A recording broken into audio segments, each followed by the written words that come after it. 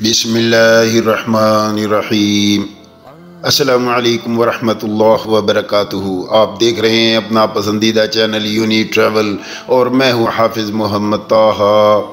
آج کا سیشن میں کچھ ضروری سوالات جو بہت سے بہن بھائیوں نے پوچھے ہیں، اس کی جوابات لے کر حاضر ہوا ہوں۔ عبد القیوم صاحب نے سوال کیا ہے کہ حافظ صاحب، السلام علیکم ورحمۃ اللہ وبرکاتہ۔ حج دو ہزار تیئیس کے لیے اپلیکیشن فارم کب تک شروع ہوں گے؟ یہ صرف عبد القیوم بھائی نے سوال نہیں کیا، بلکہ اس طرح کے دیگر بہت سے بہن بھائیوں نے سوال کیے ہیں کہ حج اپلیکیشن فارم کب تک شروع ہوں گی۔ تو بھائی عبد القیوم صاحب اور دیگر میرے پیارے بہن بھائیوں دراصل بات یہ ہے کہ حج اپلیکیشن فارم فروری کے آخر میں شروع ہونے کی توقع تھی، لیکن ابھی کچھ کہا نہیں جا سکتا۔ ہو سکتا ہے کہ فروری کے آخری ہفتے عشرے میں یہ فارم شروع ہو جائیں درخواست فارم۔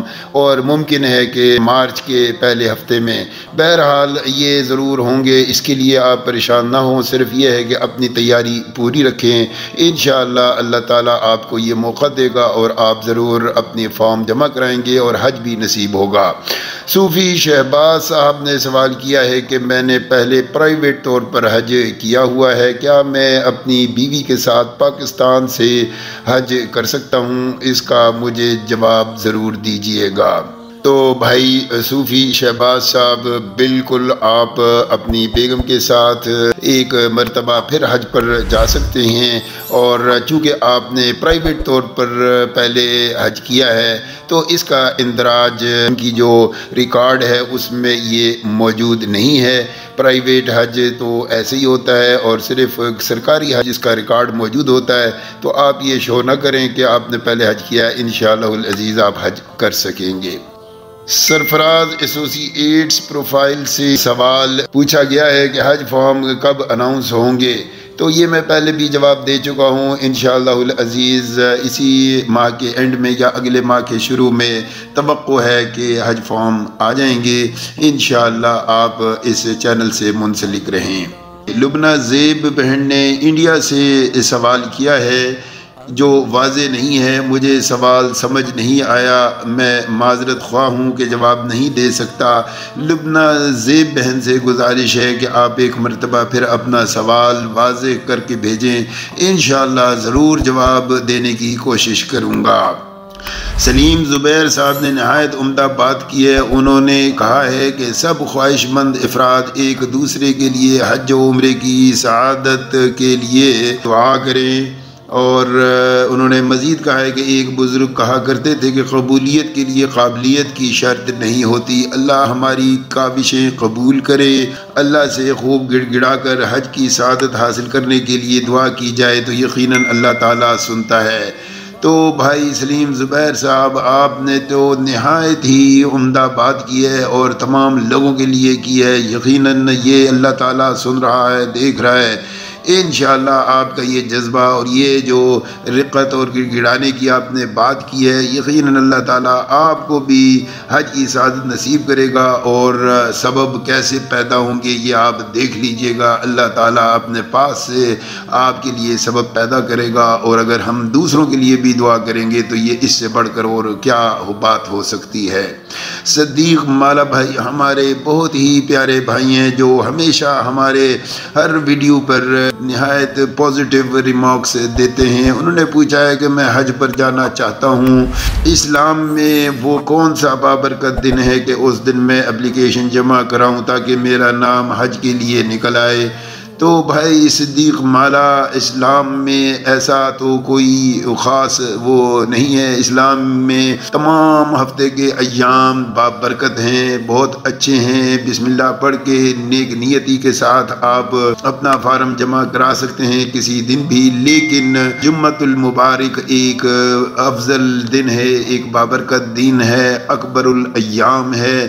تو اس دن آپ اگر جمعے کو پریفر کریں ترجیح دیں تو اس دن آپ اپنا فارم جمع کرائیں۔ اللہ تعالیٰ آپ کو یہ سعادت نصیب کرائے اور آپ کی دلی خواہش پوری ہو۔ صبا اعجاز بہن نے سوال پوچھا ہے کہ ہمیں حج دو ہزار تیئیس میں ہم جانا چاہتے ہیں۔ ہمارے لیے مہربانی کر کے ضرور دعا کریں کہ میں اپنے شوہر کے ساتھ حج پر جا سکوں۔ بہن صبا اعجاز، اللہ تعالیٰ آپ کے ضرور حج دو ہزار تیئیس میں بلائے گا۔ آپ اپنا جذبہ اور اپنی تیاری پوری رکھیں۔ ہم آپ کے لیے خصوصی دعا کرتے ہیں کہ اللہ تعالیٰ آپ کو اور آپ کے شوہر کو، دونوں کو یہ حج دو ہزار تیئیس میں حج کی سعادت نصیب فرمائے۔ عبد المنان بھائی نے سلام کے بعد بہت پیاری دعاؤں کا تحفہ بھیجا ہے۔ فرماتے ہیں کہ اللہ تعالیٰ آپ کی عمر میں برکت عطا فرمائے، اور آپ کو بھی بیت اللہ میں حاضری کی سعادت نصیب ہو۔ میرا سوال ہے کہ میڈیکل سرٹیفکیٹ یعنی میڈیکل فٹنس سرٹیفکیٹ ابھی تیار کر لیا جائے یا حج فارم آنے کے بعد ڈائریکٹ بینک میں درخواست کے ساتھ جمع کرانا ہے؟ مہربانی کر کے ضرور جواب دیجیے گا۔ جزاک اللہ خیر۔ عبد المنان بھائی، بہت شکریہ، وعلیکم السلام۔ آپ نے نہایت عمدہ دعا فرمائی ہے۔ اللہ تعالیٰ آپ کو بھی لمبی عمر اور صحت والی عمر عطا کرے، خوشیوں والی عمر عطا کرے اور آپ کو حج کی سعادت نصیب ہو، آپ کی دلی نیک تمنائیں، خواہشیں پوری ہوں۔ انشاءاللہ آپ کے لیے دعا کی جا رہی ہے۔ کہ اللہ تعالیٰ آپ کو حج کی یہ سعادت نصیب کرے اور میڈیکل سرٹیفکیٹ کے بارے میں آپ نے پوچھا ہے تو ایسا ہے کہ جب حج فارم آئیں گے، اس کے ساتھ منسلک ایک فارمیٹ ہوتا ہے، ایک پروفارما ہوتا ہے جو میڈیکل کے لیے ہے۔ اس میں آپ نے اپنا عمر، اپنا نام، اپنا سی این آئی سی اور وہ آپ نے قریبی سرکاری ڈاکٹر سے اس کو سائن کروانا ہے، اس کو اپروو کرانا ہے، اس پہ اسٹیمپ لگوانی ہے۔ وہ اسی فارم کے ساتھ منسلک ہوگا۔ تو ابھی اسے بنانے کا فائدہ نہیں ہے۔ میڈیکل سرٹیفکیٹ اس فارم کے ساتھ آپ کو ملے گا، اس کو فل کر کے تو وہ اس کے ساتھ جمع کرائیں۔